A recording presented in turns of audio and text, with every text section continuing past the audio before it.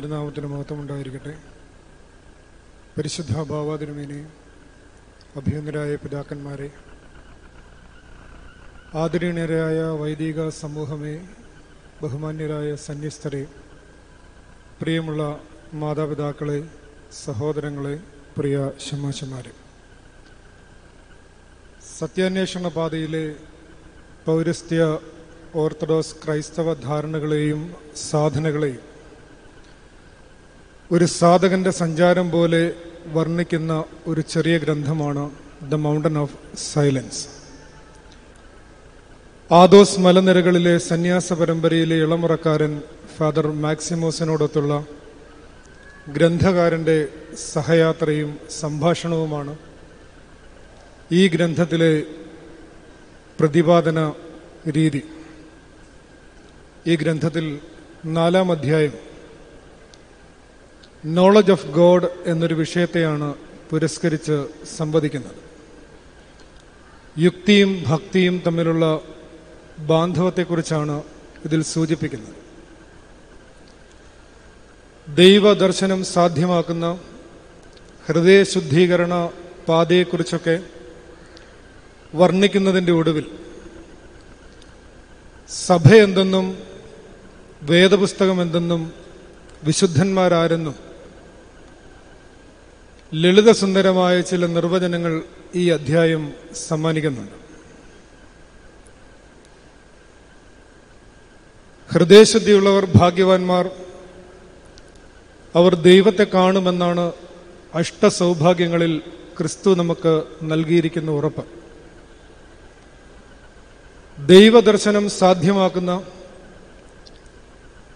ഹൃദയ ശുദ്ധീകരണ പാതയിൽ അതിന് വിഘാതമായി വരുന്ന ഹൃദയരാഗങ്ങളെയും മനോമാലിന്യങ്ങളെയും വിഭാടനം ചെയ്യുന്ന അതിനെ ചികിത്സിക്കുന്ന ഒരാശുപത്രിയാണ് സഭയെന്ന് ഇവിടെ പരാമർശിക്കുന്നുണ്ട്.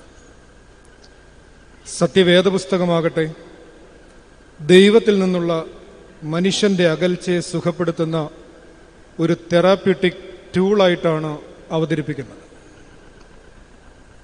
സത്യവേദപുസ്തകത്തെക്കുറിച്ചുള്ള വിദഗ്ധ അഭിപ്രായം തേടേണ്ടത് റിലിജിയസ് ഫണ്ടമെന്റലിസ്റ്റുകളിൽ നിന്നോ ബൈബിൾ ഹിസ്റ്റോറിയൻസിൽ നിന്നോ അല്ല പിന്നെയോ ബൈബിൾ പ്രാക്ടീസ് ചെയ്തവരിൽ നിന്നാണ് എന്ന് ഈ ഗ്രന്ഥം വളരെ സവിശേഷമായി പറഞ്ഞു വയ്ക്കുന്നു യഥാർത്ഥത്തിൽ വേദപുസ്തകം പ്രാക്ടീസ് ചെയ്തവരാണ് വിശുദ്ധന്മാർ.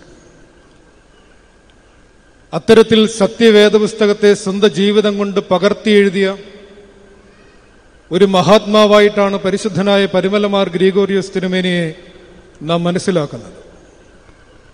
ഒരുപക്ഷെ നമുക്ക് പലപ്പോഴും തോന്നുന്നത് സുവിശേഷം അത്ര പ്രായോഗികമല്ല എന്നാണ്.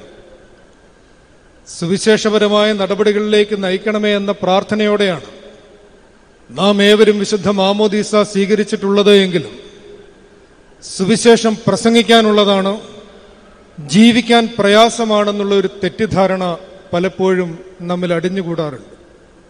ആ ഒരു തെറ്റായ ധാരണയാണ് പരിശുദ്ധനായ പരിമല തിരുമേനിയുടെ ജീവിതം മെല്ലെ മെല്ലെ ഓരോ ഓർമ്മ പെരുന്നാളിലും നമ്മിൽ നിന്ന് അടർത്തി മാറ്റിയെടുക്കുന്നത്.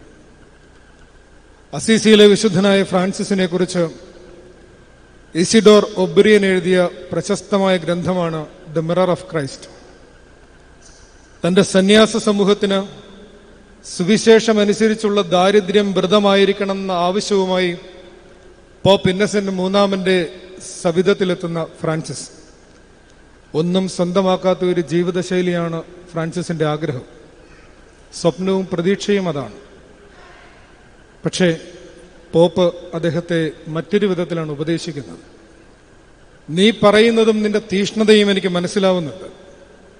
പക്ഷേ നിന്റെ പിൻഗാമികളിൽ ഒരുപക്ഷെ ഇത്രയും ആവേശമുണ്ടായില്ലെങ്കിൽ അത് നാം കണക്കെടുക്കേണ്ടതാണ്. അവർ ഈ ദാരിദ്ര്യത്തെ എത്രമേൽ ഉൾക്കൊള്ളാനും സഹിക്കാനും തയ്യാറാകുമെന്നുള്ളത് നീ ഒന്ന് ശ്രദ്ധിക്കേണ്ടതാണ് എന്ന് പോപ്പ് ഉപദേശിക്കുന്നു. അപ്പോൾ വിശുദ്ധനായ ഫ്രാൻസിസിന്റെ മറുപടി ഇങ്ങനെയാണ്. ഞാൻ പൂർണമായും ക്രിസ്തുവിൽ ആശ്രയിക്കുന്നു. അവൻ എല്ലാവർക്കും മരണമില്ലാത്ത ജീവിതവും അനന്തമായ ആനന്ദവും വാഗ്ദാനം ചെയ്തിട്ടുണ്ട്. ഭാവിയിൽ അത്തരം വലിയ കാര്യങ്ങൾ നമുക്ക് തരാൻ പ്രാപ്തനായ ദൈവത്തിന് എങ്ങനെയാണ് നമുക്ക് നമ്മുടെ വർത്തമാനത്തിന്റെ നിസ്സാരങ്ങളായ ആവശ്യങ്ങൾ നൽകാൻ കഴിയാതിരിക്കുക? സുന്നകദോസിൽ വലിയ ചർച്ചകൾ നടന്നു. അത്ര അനുകൂലമായിട്ടല്ല അത് പുരോഗമിച്ചത്. എന്നാൽ ഒരു മെത്രാപ്പൊലിത്ത അവിടെ ഉന്നയിച്ച ഒരു അഭിപ്രായം തികച്ചും വ്യത്യസ്തമായ ഒന്നാണ് ഒന്നായിട്ടാണ് രേഖപ്പെടുത്തിയിട്ടുള്ളത്. അതിങ്ങനെയാണ്. ഈ മനുഷ്യൻ സുവിശേഷം അനുസരിച്ച് ജീവിക്കാൻ തനിക്ക് അനുമതി തരണമെന്ന് മാത്രമേ നമ്മോട് ആവശ്യപ്പെടുന്നുള്ളൂ.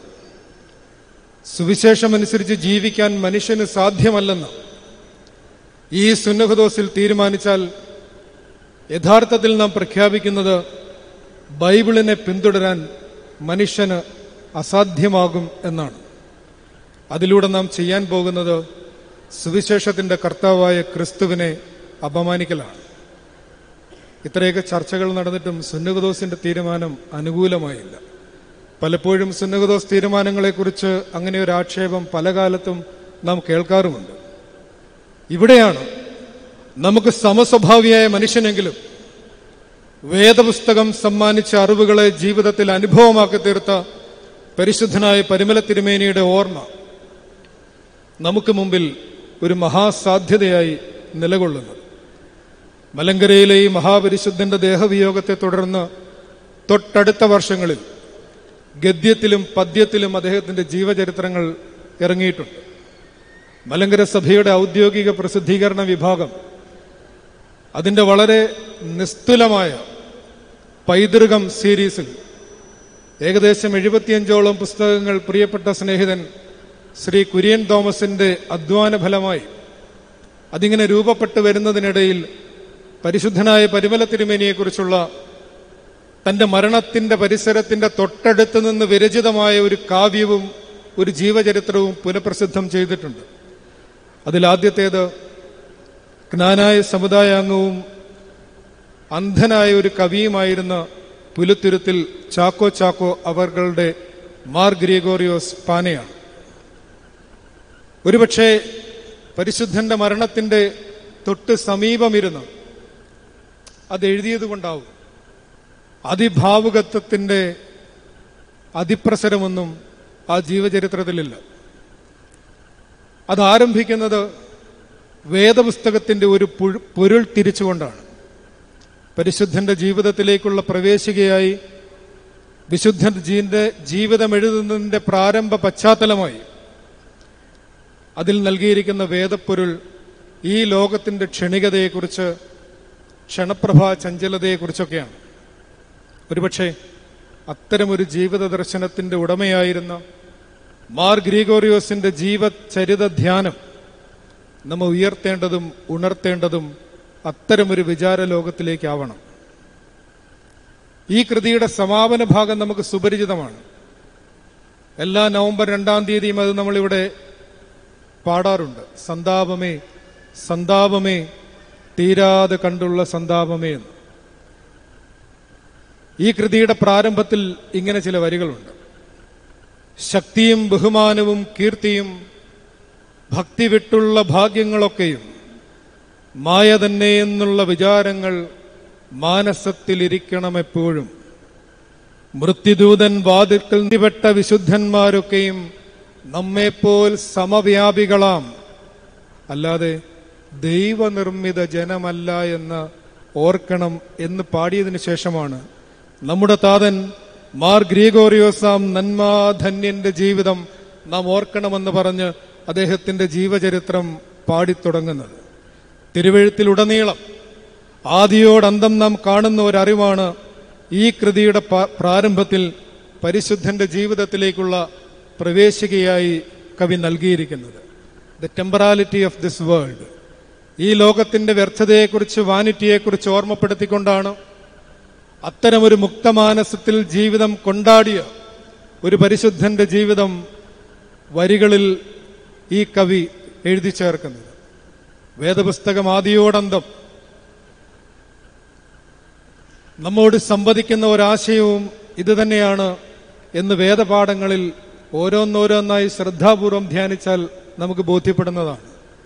ഒരുപക്ഷെ ഏതനിലെ കഥ പറഞ്ഞു തുടങ്ങുന്ന തിരുവഴുത്തിന്റെ ആദ്യ പാഠം ഒരു നാട്ടുപാട്ടായി നമ്മുടെ ഓർമ്മയിലുണ്ട്. ആദമേ നിന്നെ ഞാൻ തോട്ടത്തിലാക്കി തോട്ടം സൂക്ഷിപ്പാനും. ആദമിനെ ദൈവം ഏതൻ തോട്ടത്തിലാക്കിയത് തോട്ടം സൂക്ഷിപ്പാനായിട്ടാണ് സ്റ്റുവർഷിപ്പാണ്. എല്ലാം ദൈവത്തിന്റെതെന്നുള്ള അവബോധത്തിൽ നിന്ന് എന്റേത് എന്നുള്ള ഒരു അവിവേകത്തിലേക്ക് വീണു പോകുമ്പോൾ പിന്നീട് അവന്റെ മകൻ കായേൻ ഒരു പൊസസീവ്നെസ്സിലേക്ക് ജീവിതം മനുഷ്യന്റേത് പരിണമിച്ചു കഴിയുമ്പോൾ സഹോദരനോട് അസൂയയുണ്ടാവുന്നു സഹോദരനോട് കലഹമുണ്ടാവുന്നു സഹോദരന്റെ കൊലപാതകം വരെ സംഭവിക്കുന്നുവെന്ന് തിരുവഴുത്തിന്റെ തുടർപ്പാടങ്ങൾ നമ്മളെ ഓർമ്മിപ്പിക്കുന്നു. വീണ്ടും തിരുവഴുത്തിൽ പറയുന്നു നിങ്ങൾ ഭൂമിയിൽ പരദേശികളാണ്. പുതിയ നിയമം എത്തുമ്പോഴേക്കോ ക്രിസ്തു എത്ര വ്യക്തമായി പറയും ആകാശപ്പറവുകളെ നോക്കുക വയൽപ്പൂക്കളെ നോക്കുക വിതയ്ക്കുന്നില്ല കൊയ്യുന്നില്ല എന്ത് തിന്നും എന്തൊടുക്കും എന്ന് നിങ്ങൾ വിചാരപ്പെടേണ്ട. ഇത്രയുമൊക്കെ ആകുമ്പോൾ നമ്മൾ ആദ്യമേ പറഞ്ഞതുപോലെ നമുക്ക് തോന്നും ഈ പറയുന്നതൊക്കെ പ്രാക്ടിക്കലാണ്. വേദപുസ്തകം സുവിശേഷം ജീവിക്കാൻ പ്രായോഗികമായി നമ്മെക്കൊണ്ട് സാധ്യമാണ് എന്നൊരു സന്ദേഹം നമുക്കുണ്ടാവും. ഇത് സാധാരണ വ്യാവഹാരിക ലോകത്ത് ജീവിക്കുന്ന മനുഷ്യരിൽ മാത്രമുണ്ടാവുന്ന ഒരു സന്ദേഹമല്ല കേട്ടോ. ലിവിംഗ് വിത്ത് ഹിമാലയൻ മാസ്റ്റേഴ്സ് എന്ന് പറയുന്ന സ്വാമി രാമയുടെ ഒരു ഗ്രന്ഥമുണ്ട്. അതിൽ സർവസംഘ പരിത്യാഗികളായ ദിഗംബരന്മാരായ രണ്ട് സന്യാസിമാരെക്കുറിച്ച് അദ്ദേഹം ഒരു പരാമർശം നടത്തുന്നുണ്ട്. ഹിമാലയത്തിന്റെ ഏതോ അറിയപ്പെടാത്ത ദിക്കിൽ ഈ രണ്ട് സന്യാസിമാർ പ്രാർത്ഥനാ നിരതരായി ജീവിക്കുകയാണ്. ജീവിതത്തിൽ ഒന്നും തന്നെ അവർക്ക് സ്വന്തമായിട്ടില്ല. എല്ലാം ഉപേക്ഷിച്ചവരാണ് ത്യജിച്ചവരാണ്. പക്ഷെ ഒരു കാര്യം മാത്രം അവർക്ക് സ്വന്തമായിട്ടുണ്ട്. പ്രാർത്ഥിക്കാൻ ഓരോ പായുണ്ട് രണ്ടു പേർക്ക്. പ്രാർത്ഥിക്കാനാണല്ലോ. അതുകൊണ്ട് ഓരോ പാ കൈവശം വെക്കുന്നത് കൊണ്ട് തെറ്റില്ലല്ലോ. ഒരു ദിവസം സ്വാമി രാമ ഈ മലഞ്ചെരുവിലൂടെ സഞ്ചരിക്കുന്ന സമയത്ത് ഈ രണ്ട് ദിഗംബരന്മാരായ സന്യാസിമാരും തമ്മിൽ വലിയ മൽപിടുത്തം. സ്വാമി രാമ അവരുടെ ഇടയ്ക്ക് ഇറങ്ങി ചെന്നിട്ട് മാറ്റി നിർത്തി. അവരോട് ചോദിക്കുന്നുണ്ട് എന്താണ് നിങ്ങളുടെ ഈ വഴക്കിന്റെ കാരണം? നിങ്ങൾ തമ്മിൽ ഇങ്ങനെ കലഹിക്കാൻ പാടുള്ളതല്ലോ നിങ്ങളെല്ലാം ഉപേക്ഷിച്ച സന്യാസിമാരാണല്ലോ നിർമ്മാനമോഹരാണല്ലോ നിർമ്മമരാണല്ലോ. നിങ്ങൾക്ക് എന്തുകൊണ്ടാണ് ഇങ്ങനെ ഒരു സംഘടനത്തിലേക്കും സംഘർഷത്തിലേക്കും പോകേണ്ടി വന്നത്? അപ്പോൾ ഒരു സന്യാസി പറഞ്ഞ മറുപടി ഇത്രയേ ഉള്ളൂ. എന്റെ പായിൽ അവൻ ചവിട്ടി. സർവസംഘ പരിത്യാഗികളാണ് ആത്മീയ ഔന്നത്യമുണ്ട് എന്ന് നാം ധരിക്കുന്ന ചിലപ്പോൾ തെറ്റിദ്ധരിക്കുന്ന മനുഷ്യരിൽ പോലും ഇങ്ങനെയുള്ള ചെറിയ കുശുമ്പും കുന്നായ്മകളുമൊക്കെ അവശേഷിക്കുന്നു എന്നുള്ളത് നമ്മെ ഭയപ്പെടുത്തണം. നമ്മെ ഭാരപ്പെടുത്തണം. വേദസത്ത നമ്മിൽ നിന്ന് അകന്നു പോകുന്നുണ്ടോ എന്നുള്ളതാണ് നാം പരിശുദ്ധനായ പരിമല തിരുമേനിയുടെ ഓർമ്മയുടെ വെളിച്ചത്തിൽ പരിശോധിക്കേണ്ടത്. അബ്ബ ജോൺ കാസിയൻ പറഞ്ഞ ഒരു കഥയുണ്ട്. ഒരു ഗുരു തന്റെ രണ്ട് ശിഷ്യന്മാരുമായി സഞ്ചരിക്കുകയാണ്. ഒരു തീരത്ത് നിന്ന് മറുകര എത്താനായി ഒരു വള്ളത്തിലാണ് അവർ പോകുന്നത്. പോകുന്ന വഴിക്ക് ഗുരു ശിഷ്യന്മാരോട് സമയം കളയണ്ടല്ലോ എന്ന് വിചാരിച്ച് ഇത്തിരി സുവിശേഷം പഠിപ്പിക്കാമെന്ന് വിചാരിച്ചു. കാര്യമായിട്ട് ബൈബിളിൽ നിന്നൊക്കെ കാര്യങ്ങൾ പറഞ്ഞു കൊടുത്തപ്പോൾ പതിയെ ശിഷ്യന്മാർ ഉറക്കം തൂങ്ങി തുടങ്ങി. സുവിശേഷം കേൾക്കുമ്പോൾ അല്ലെങ്കിൽ നമ്മൾ സെമിനാരിയിലൊക്കെ പഠനത്തിനിരിക്കുന്ന സമയത്ത് നമുക്കുണ്ടാവുന്ന ഒരു ക്ഷീണമുണ്ടല്ലോ. അത്തരി അത്തരത്തിൽ ശിഷ്യന്മാർക്കൊരു ചെറിയ ക്ഷീണമുണ്ടായി സുവിശേഷമൊക്കെ പറഞ്ഞപ്പോൾ. അവരിങ്ങനെ പതിയെ മയങ്ങിത്തുടങ്ങുന്നത് കണ്ടപ്പോൾ ഗുരു പെട്ടെന്ന് വിഷയം മാറ്റി. ഗുരു തന്റെ സംസാരിച്ചുകൊണ്ടിരുന്നത് അവസാനിപ്പിച്ചിട്ട് പെട്ടെന്ന് പറയുകയാണ് ഇങ്ങോട്ട് നോക്കി നമ്മുടെ ആശ്രമത്തിൽ നിന്ന് ഒരു പതിനഞ്ച് വർഷം മുമ്പ് പുറപ്പെട്ടു പോയ ഒരാളെക്കുറിച്ച് നിങ്ങൾക്കറിയാമോ? എല്ലാവരും ശ്രദ്ധിക്കാൻ തുടങ്ങി. ദുർവിശേഷമാണല്ലോ. സുവിശേഷം കേൾക്കാൻ അത്ര താല്പര്യമൊന്നും നമുക്കില്ല. ദുർവിശേഷം കേൾക്കാനുള്ള നമ്മുടെ താല്പര്യത്തെ മുൻനിർത്തിയാണ് പലരും ഇന്ന് പലതരത്തിലുള്ള വ്യാജ ആരോപണങ്ങളും വിറ്റഴിക്കുന്നത് അവരുടെ ലാഭകരമായ ജീവിതത്തിന് വേണ്ടി അത്തരത്തിലുള്ള തിന്മപ്പെട്ട പ്രവർത്തികൾ നടത്തുന്നത് എന്നറിയാതെ പോലും നാം അത്തരം കേൾവികൾക്ക് എത്രമേൽ സമയമാണ് വ്യർത്ഥമായി കൊടുത്തുകൊണ്ടിരിക്കുന്നത്? സുവിശേഷം പാരായണം ചെയ്യേണ്ട സുവിശേഷബദ്ധമായി ജീവിക്കേണ്ട അതിന് ബാധ്യതയുള്ള അതിന് കടമയുള്ള അതിന് കടമുള്ളവരാണ് ഓരോ സത്യക്രിസ്ത്യാനിയും. എന്നിട്ടും നിർഭാഗ്യവശാൽ നിർഭാഗ്യവശാൽ സുവിശേഷത്തെക്കാൾ ദുർവിശേഷം കേൾക്കുന്നതിനും അത് പ്രചരിപ്പിക്കുന്നതിനുമാണ് പലപ്പോഴും നമ്മൾക്ക് കൂടുതൽ താല്പര്യവും നമ്മുടെ സമയം ചെലവഴിക്കുന്നതും. ഒരാൾ ചോദിച്ചതുപോലെ as a Christian are you spreading gospel or gossip ഒരു ക്രിസ്ത്യാനി എന്നുള്ള നിലയിൽ നിങ്ങൾ ഗോസ്പലാണോ ഗോസിപ്പാണോ? കൂടുതൽ പ്രചരിപ്പിക്കുന്നത് എന്നുള്ളത് സുവിശേഷബദ്ധമായി ജീവിച്ച ഒരു പരിശുദ്ധന്റെ ഓർമ്മയുടെ തണലിലിരിക്കുമ്പോഴെങ്കിലും നമ്മുടെ ഹൃദയത്തിലേക്ക് വരേണ്ടതാണ്. ഇത് മനുഷ്യനാൽ അസാധ്യമായതാണോ എന്ന് ചോദിച്ചാൽ ദൈവത്താൽ സാധ്യമായതെന്നാണ് തിരുവെഴുത്ത് നമുക്ക് നൽകുന്ന ഉത്തരം. വേദപുസ്തകത്തിന്റെ ചരിത്രം അപ്പോസ്തോലന്മാരുടെ ജീവചരിത്രം നമ്മളെ ഓർമ്മിപ്പിക്കുന്നത് അവർ സകലവും വിട്ട് എന്നെ അനുഗമിപ്പീൻ എന്നുള്ള വളരെ പ്രചോദനാത്മകമായ ഗുരുവിന്റെ മൊഴി കേട്ട് സകലവും വിട്ട് വലവിട്ട് അപ്പനെ വിട്ട് വീട് വിട്ട് അവർ അവന്റെ പിന്നാലെ പുറപ്പെട്ടു പോകുന്ന ഒരു ചരിത്രം അപ്പോസ്തോലിക കാലത്തുണ്ട്. പിന്നീട് പീഡനത്തിന്റെ കാലത്ത് നീറോയുടെ പീഡനത്തിന്റെ കാലത്ത് ആദിമസഭയിലെ ജീവത്യാഗങ്ങൾ ഇത് തന്നെ നമ്മളെ ഓർമ്മിപ്പിക്കുന്നുണ്ട്.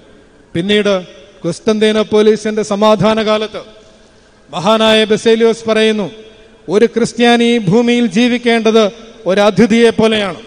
അദ്ദേഹത്തിന്റെ സഹോദരൻ നിസായിലെ ഗ്രിഗറി പറയുന്നു ഒരു ക്രിസ്ത്യാനി ഭൂമിയിൽ ജീവിക്കേണ്ടത് ഒരു സഞ്ചാരിയെ പോലെയാണ്. എപ്പോഴും ഒരുക്കമുള്ളവരായി.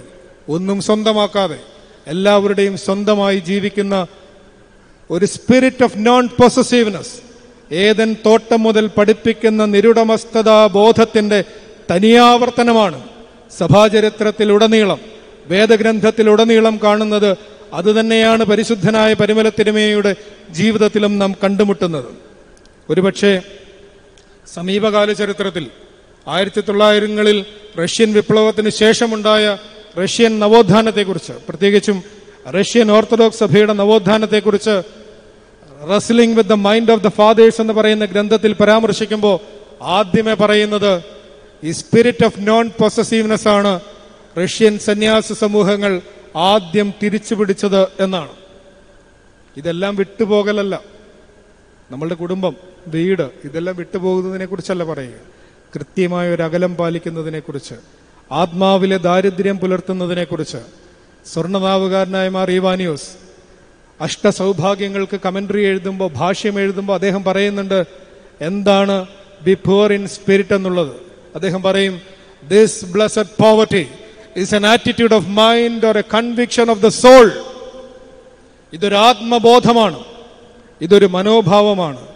കൃത്യമായ ഒരു ലാവണ്യദൂരം ജീവിതത്തിലുള്ള എല്ലാത്തിനോടും അത് സ്ഥാനമായാലും പണമായാലും മഹിമയായാലും ബന്ധങ്ങളായാലും എല്ലാത്തിനോടും കൃത്യമായ ഒരു ലാവണ്യദൂരം പാലിക്കലാണ് ജീവിതത്തിന്റെ യഥാർത്ഥ സൗന്ദര്യമെന്ന് ഇവർ പഠിപ്പിക്കുന്നു.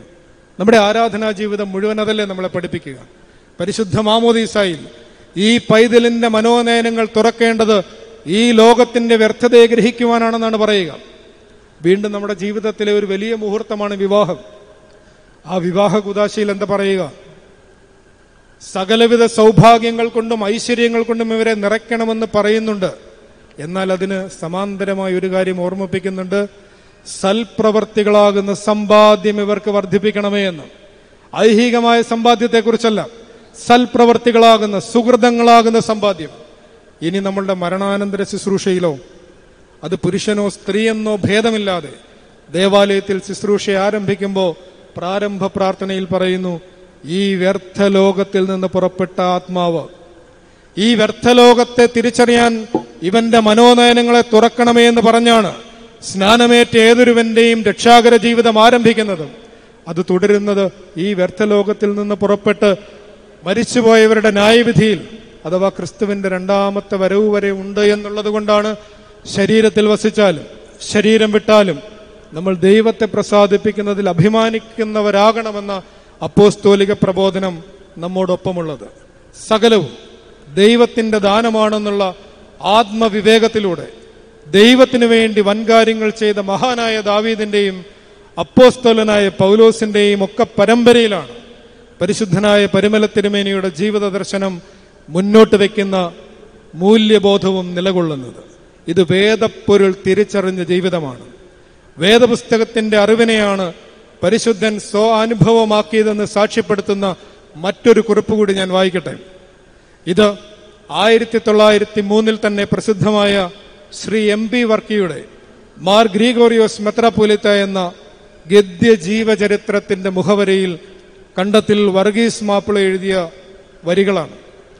അത് ഞാനൊന്ന് വായിക്കാം.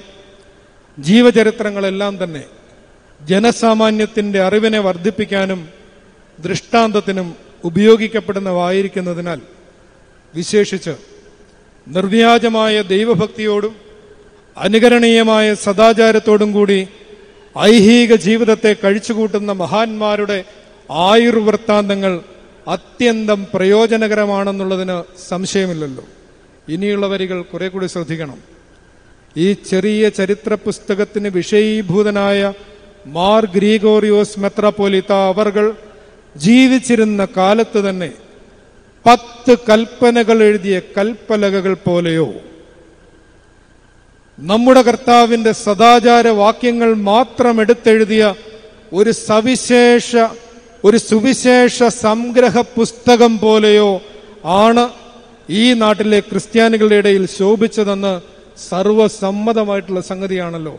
നമ്മൾ ഇതുവരെ പറഞ്ഞു വെച്ചത് എത്ര ഭംഗിയായിട്ടാണ് വർഗീസ് മാപ്പിള ആലേഖനം ചെയ്തിരിക്കുന്നത്. പത്ത് കൽപ്പനകൾ എഴുതിയ കൽപ്പലകകൾ പോലെ ഒരു ജീവിതം. ഒരു സുവിശേഷ സംഗ്രഹ പുസ്തകം പോലെ ഒരു ജീവിതം. അതാണ് പരിശുദ്ധനായ പരിമല തിരുമേനിയുടെ ജീവനും ജീവിതവും. വേദ പൊരുൾ ഗ്രഹിച്ച ഈ മഹാപുരുഷന്റെ ചിതാകാശം മഹാകാശം പോലെ വിശാലവും ആഴി പോലെ അഗാധവുമായി പരിണമിച്ചതിന്റെ ദൃഷ്ടാന്തമാണ് വിദ്യ നിഷേധിക്കപ്പെട്ടവനും. രാജപാതയിൽ കയറി നടക്കാൻ അവകാശമില്ലാത്തവനും വേണ്ടി പരിശുദ്ധൻ നടത്തിയ പ്രയത്നങ്ങൾ ശൈശവ വിവാഹം പോലെയുള്ള ദുരാചാരങ്ങൾക്കെതിരെ അദ്ദേഹം ഉയർത്തിയ ശബ്ദം ഇതെല്ലാം ഉൾക്കൊള്ളുന്ന നിരവധി സാമൂഹിക പരിഷ്കരണ ശ്രമങ്ങളെല്ലാം തന്നെ. മുളന്തുരുത്തിപ്പള്ളിയിലെ അടിമലേലത്തെക്കുറിച്ച് സുറിയാനി ക്രിസ്ത്യാനികൾക്കിടയിൽ ഉണ്ടായിരുന്ന അടിമലേലത്തെക്കുറിച്ച് പരാമർശിക്കുന്ന ബിനിൽ പോളിന്റെ അദൃശ്യ കേരളത്തിന്റെ അടിമ ചരിത്രവും മനു എസ് പിള്ളയുടെ ഐവറി ത്രോണുമൊക്കെ ചൂണ്ടിക്കാട്ടുന്ന ഉച്ചനീതത്വങ്ങളുടെയും ഭേദാഭേദങ്ങളുടെയും ഇരുൾ നിറഞ്ഞ ഒരു ചരിത്രത്തിലാണ് പരിശുദ്ധനായ പരിമല തിരുമേനി നവോത്ഥാനത്തിന്റെ ഒരു തിരുനാളമായി തെളിഞ്ഞു നിൽക്കുന്നത് എന്ന് നാം മറന്നു പോകരുത് ഇത്തിരി വട്ടത്തെ സുൽത്താൻമാരായി. അല്പന്മാരുടെ ആകാശഗംഗയിൽ ഭ്രമണം ചെയ്യുവോളം നാം ചെറിയ ലോകത്തിലെ വലിയ മനുഷ്യരായിരിക്കും. അതുകൊണ്ടാണ് ഈ വലിയ ലോകത്തിലെ ചെറിയ മനുഷ്യരെ നമുക്ക് പലപ്പോഴും കാണാൻ പറ്റാത്തതും അവരുടെ പ്രശ്നങ്ങൾ അറിയാൻ പറ്റാതെ പോകുന്നതും. ദിനം പ്രതി ഉയരുന്ന അരിവില തൊട്ട് യാതൊന്നും നമ്മുടെ പ്രശ്നമല്ല. മറ്റാരുടെയൊക്കെയോ പ്രശ്നമാണെന്ന മൗഢ്യത്തിൽ സാർത്ഥതയുടെ കുടീരങ്ങളിൽ നാം വാഴുമ്പോഴാണ് ദാ ഇവിടെ മരണാനന്തരവും ഒരു മനുഷ്യൻ മനുഷ്യരുടെ പ്രതീക്ഷയായി ദാ ഇവിടെ തടിച്ചുകൂടിയിരിക്കുന്ന വന്നുകൊണ്ടിരിക്കുന്ന വന്നു പോയിരിക്കുന്ന അനേകായിരം മനുഷ്യരുടെ കണ്ണീരും നോവും മനസ്സിലാവുന്ന ഒരാളെന്ന നിലയിൽ ജാതി മത വർഗ വർണഭേദമന്യേ മനുഷ്യരെ ചേർത്ത് നിൽക്കുന്ന ഒരു മഹാകാശമായി നിലകൊള്ളുകയാണ്. ശരിക്കും മനുഷ്യരെ ദൈവത്തിങ്കിലേക്ക് കണ്ണുകൾ ഉയർത്താൻ പഠിപ്പിക്കുന്ന ഏതൊരു മനുഷ്യപുത്രനും ക്രിസ്തു യേശുവിനെ തന്നെയാണ് സഖേ നമ്മളെ ഓർമ്മിപ്പിക്കുക. നവോത്ഥാനത്തിന്റെ ഈ പുത്തൻ തീ ആളാതെയും പാളാതെയും കാളാതെയും സ്ഥിരവും ശുദ്ധവും ഭദ്രവുമായി നമ്മുടെ വർത്തമാനകാലത്തിനും ചൂടും വെളിച്ചവും പകരുന്നു. ഞാൻ എന്റെ വാക്കുകൾ ഉപസംഹരിക്കുകയാണ്. ഈ പുത്തൻ തീയിൽ നിന്നും സുവിശേഷ ചൈതന്യം പകർന്നെടുക്കാൻ എത്തുന്നവരോട് പരിശുദ്ധനായ പരിമല തിരുമേനിയുടെ കുടുംബത്തിൽ തന്നെ പെട്ട ബിനോയ് ചാത്തുരുത്തി എഴുതിയ ആർഷമഞ്ജരിയിൽ നിന്ന് ചില വരികൾ വായിച്ചാണ് എന്റെ പ്രഭാഷണം അവസാനിക്കുക. നമ്മുടെ കെ എം തരകൻ സാർ അതിന്റെ ആമുഖത്തിൽ എഴുതിയ പോലെ ഒരു ബ്രഹ്മർഷിയായിരുന്ന പരുമലമാർ ഗ്രീഗോറിയോസിന് ഒരു ഭക്തകവി അർപ്പിക്കുന്ന വർണസുന്ദരവും സുഗന്ധവാഹിയുമായ ഒരു മലർക്കുലയാണ് ആർഷമഞ്ജരി നാം ഇതുവരെ പറഞ്ഞു വെച്ചതെല്ലാം ഒരു രണ്ട് വരിയിൽ അതിൽ സംഗ്രഹിക്കുന്നുണ്ട്. അതിങ്ങനെയാണ്. ജീവിതം വേദമായി വേദമേ ജീവിതം വിധം ജന്മമേ ദൈവീകമായി. ജീവിതം വേദമായി വേദമേ ജീവിതം വിധം ജന്മമേ ദൈവീകമായി. ഇങ്ങനെ പാടുന്ന ആ കവിതയുടെ അവസാന വരികൾ ചൊല്ലി നമുക്ക് ഈ പ്രഭാഷണം അവസാനിപ്പിക്കാം. കത്തുന്ന ജീവിതം കൈത്തിരി പോലെ നാം ഏന്തി പിതാവിന്റെ മുന്നിൽ നിൽക്കാം. ഹൃത്തിലെ ശോകതാളങ്ങളിൽ നർത്തന കീർത്തനമാക്കി നാം ആലപിക്കാം. നിത്യവും ദൈവകൃമാമൃതം കിട്ടുവാൻ പ്രാർത്ഥിക്ക നമ്മളെ ദുർബലന്മാർ. ആത്മതേജസ്വരൂപൻ പരുമല ഗ്രീഗോറിയോസാം പിതാവിനോടായി. നിങ്ങളെല്ലാവരുടെയും നല്ല ശ്രദ്ധയ്ക്ക് നന്ദി. ദൈവം അനുഗ്രഹിക്കട്ടെ.